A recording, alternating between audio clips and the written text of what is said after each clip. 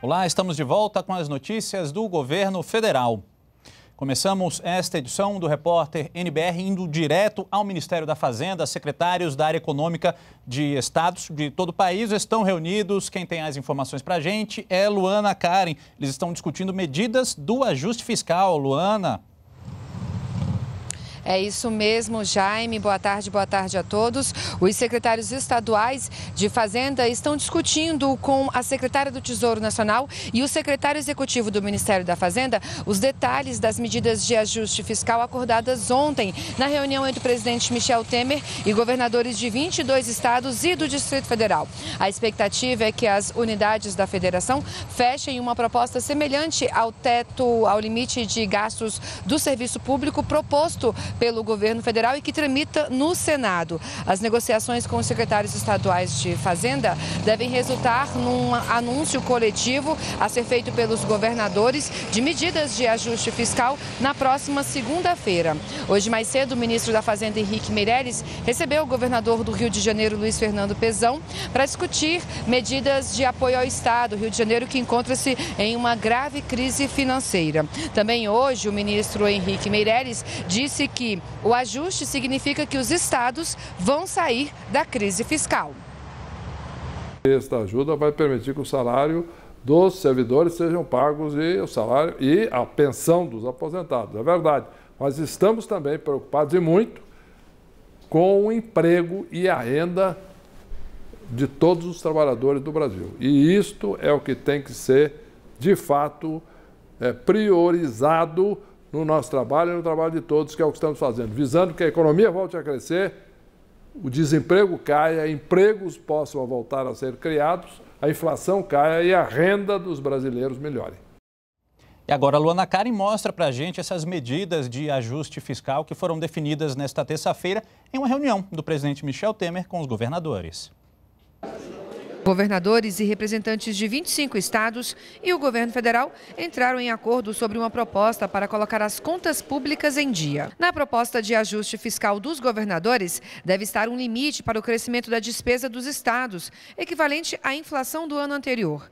A redução em pelo menos 20% em relação a 2015 das despesas com cargos comissionados, temporários e gratificações. Os estados também se comprometeram a apoiar a reforma da Previdência, que será encaminhada ainda este este ano ao Congresso Nacional. O acordo é para que os estados apresentem uma emenda à proposta federal com as bases para uma reforma da Previdência estadual. Todos os estados deverão adotar medidas muito semelhantes no que diz respeito a controle de gasto, no que diz respeito à reforma previdenciária e que no, no que diz respeito ao financiamento do desenvolvimento. Nós precisamos fazer isso.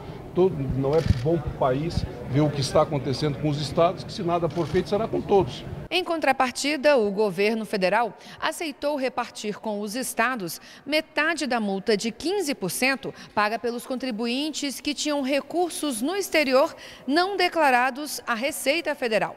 A medida deve resultar em pelo menos 5 bilhões de reais extras para os cofres estaduais. O acordo será formalizado no processo que está em andamento no Supremo Tribunal Federal. Também ficou acertado o apoio dos governadores para a retomada do texto original do projeto de lei que renegocia a dívida dos estados. A repactuação dá um prazo de 20 anos para que os estados quitem a dívida que têm com a União. Na análise do projeto, os deputados federais retiraram da proposta contrapartidas como a proibição de o estado conceder reajuste a servidores públicos e aumentarem o número de cargos por dois anos. Com o um acordo firmado nesta terça-feira, o projeto, que está em análise no Senado, Senado deve reincorporar as contrapartidas. Isto é o que vai resolver a crise fiscal dos estados no Brasil. É um ajuste é, pela austeridade, um ajuste rigoroso das contas estaduais, é, de novo, com a, a, um pacto assinado por todos os governadores e pelo uh, governo federal. Você já ouviu falar no Tesouro Direto? Ele pode ser uma saída para quem quer poupar e investir. Desde 2002, o sistema permite que pessoas físicas participem dos investimentos e tem atraído cada vez mais interessados. Uma prova disso é que, pela primeira vez, o número de investidores passou de um milhão.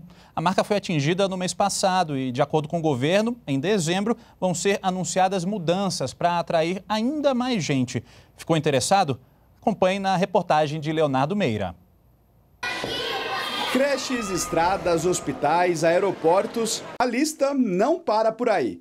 Para investir nisso tudo, o governo precisa de dinheiro. E uma das formas de conseguir recursos é vendendo títulos públicos. Você empresta dinheiro para o governo brasileiro em troca do direito de receber no futuro o valor acrescido dos juros sobre esse empréstimo.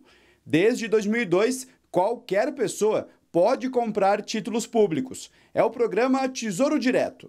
O valor mínimo para aplicação é de 30 reais. É uma excelente oportunidade de investimento e, mais do que isso, uma oportunidade de, de prover educação financeira para aqueles investidores que conhecem o programa. Todas as aplicações são feitas pela internet. Os investimentos ficam registrados no CPF do titular e o extrato pode ser conferido no site do Tesouro Nacional.